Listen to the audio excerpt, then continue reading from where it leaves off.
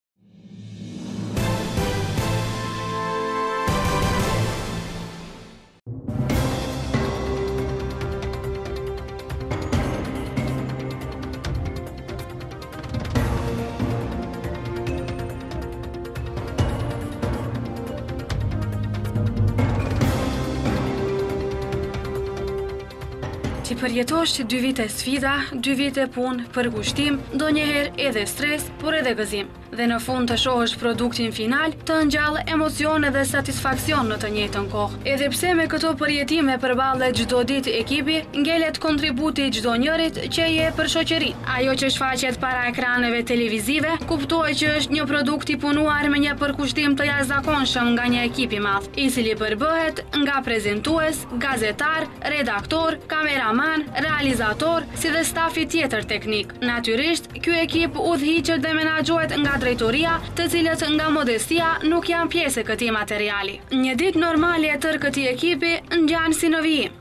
Po çfarë do të thotë ky dyvjetor për ty? Dyvjetori nënkupton një avancim më të madh, profesionalizëm më të madh, një përvojë e re e cila ishte momenti që ta shijoj dhe ta përfitoj në karrierën time, Vërtet një ngritje e madhe në karrierën time, një mësim më shumë në profesion dhe një përgatitje për sfida të reja, sepse dihet që gazetaria asnjëherë nuk ka një nivel ku mund t'i thuash se kaq ishte. Gjithë jetën në gazetari mësohet dhe çdo përvojë është përfituese më e madhe, vetëm duhet të dish ta shfrytëzosh dhe ta qëllosh vendin për ta shfrytëzuar. Unë mendoj që Kam arritur ta gjej vendin e duhur dhe për këto dy vite të përfitoj më tepër sesa është dhe vetë koha që ka kaluar deri tani.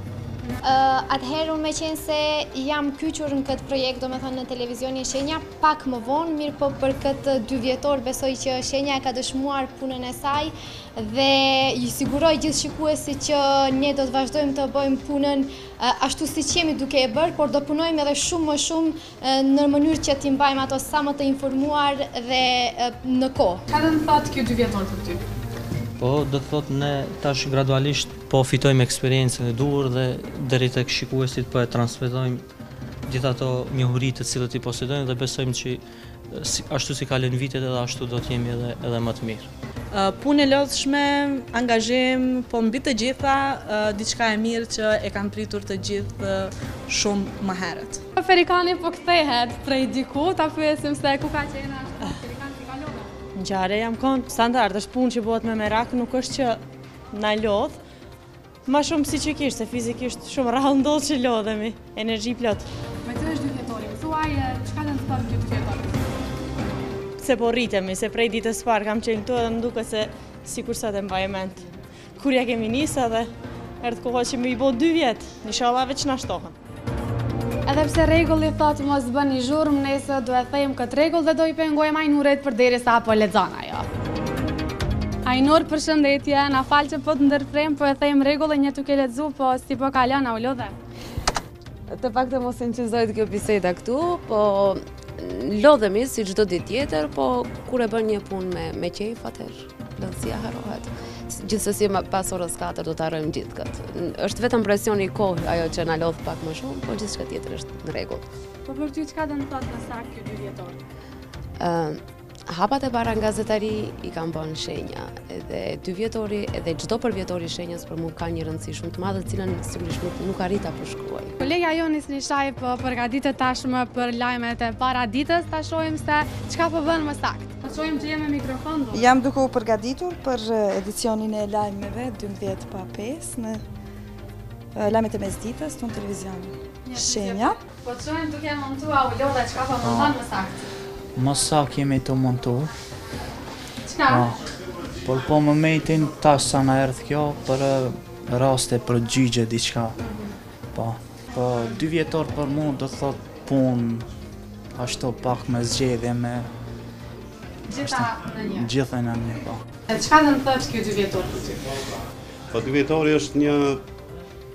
Arritje për, për mua, për mendimin tim, një arritje shumë e madhe për televizionin. Për një afat shkurtër që ka arrit të bëjë televizioni, në të ardhmen besoj që